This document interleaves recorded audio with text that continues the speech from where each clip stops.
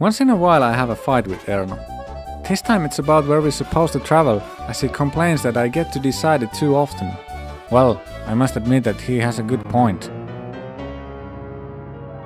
This time I agree with him, he can choose our next destination. His spirit cellar is almost empty. He also pointed out that the price of alcohol will be rising soon, as the Finnish government is raising its tax once again. That's why Erno chooses Tallinn, capital of Estonia, to be our next target. It's time for a traditional Finnish booze cruise.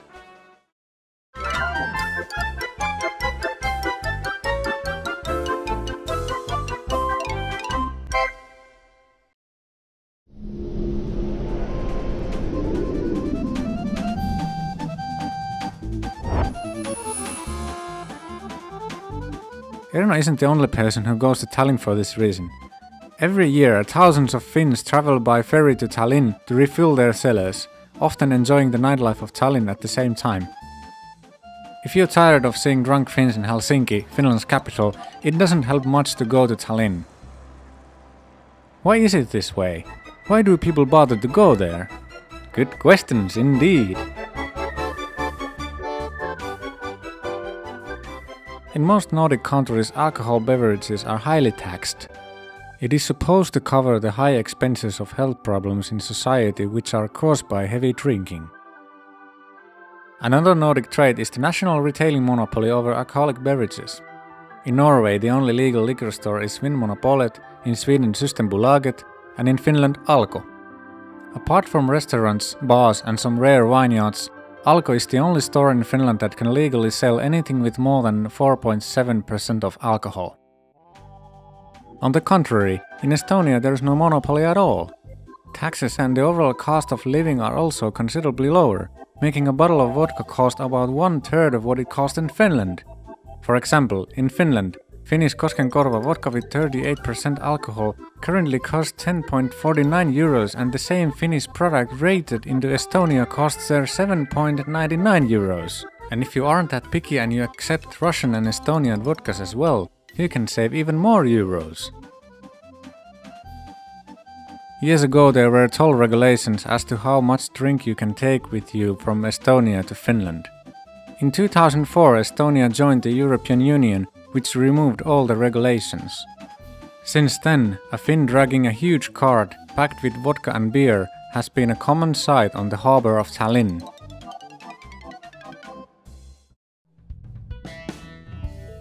Most Finns travel straight from Helsinki to Tallinn. Because Erno isn't straight at all, his route is something different. I also insisted on circling around a bit because I wanted to see the Turku archipelago and the Åland Islands for the first time. That's why our journey starts from Turku, where it's relatively cheap to take a bus to Galtby. From Galtby we jump on a ferry that is completely free.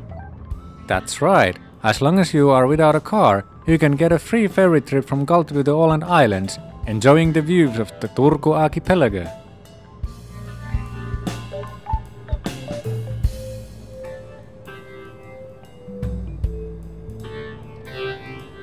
We land on Långnäs and take a bus to Mariehamn, the capital of the Åland Islands. Yes, we are technically still in Finland, but this is a Swedish-speaking, autonomous area with its own culture and local government. For example, if you want to buy land from Åland Islands, you have to 1. Be citizen of Finland, 2. Speak Swedish. What a marvelous way to keep land in the hands of the local people! Swedes can't invade the place because they were born into the wrong country, and Finns are just too reluctant to learn Swedish because they hate the language for the most part. But if you ask me, what kind of Finn wants to live here anyway? People are happy, no drunk people around, and not even school shootings anywhere. Perkele, there's nothing to whine about here.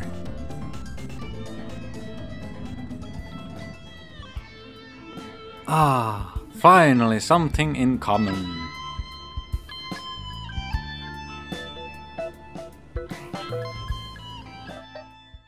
Let's continue our journey to the next stop, Stockholm in Sweden.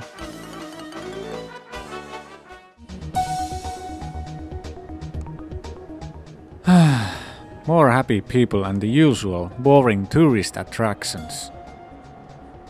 And I know that Finland isn't cheap either, but come on, these prices are ridiculous. Because most of our money is reserved for buying booze, Erno can't enjoy any cake globs here either. No wonder he's just as bored as I am. Come on, let's leave this place quickly.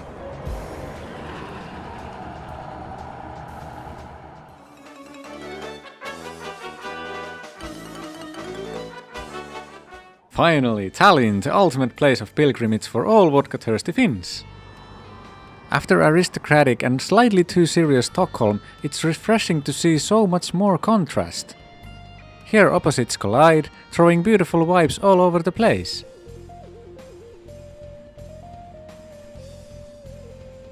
Old and new side by side, and even the tourist attractions are more tempting. A museum of medieval torturing instruments! I feel at home already!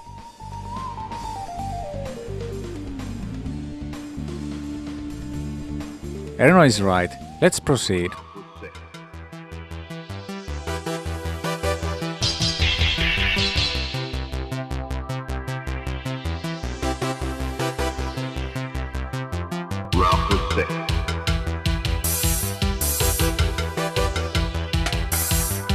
Sickness of the mind.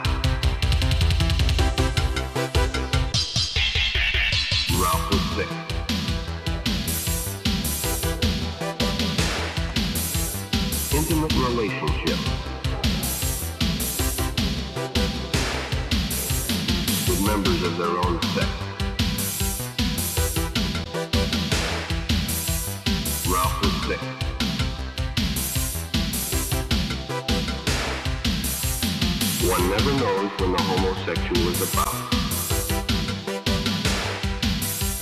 He is mentally ill. And after some refreshment, it's time for shopping! This is something that Erno has waited for all this time a visit to Super Alko!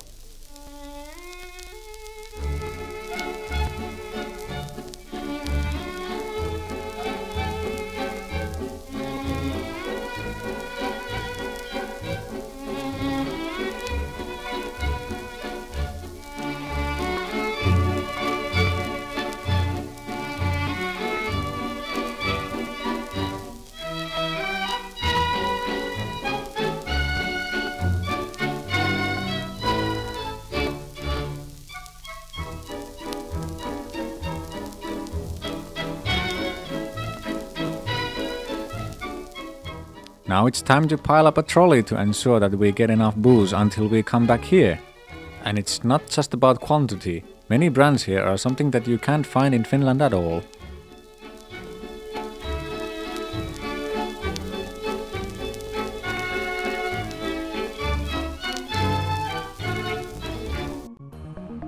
Then it's time to return.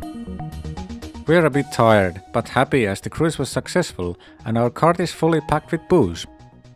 It was indeed a rough trip, both mentally and physically.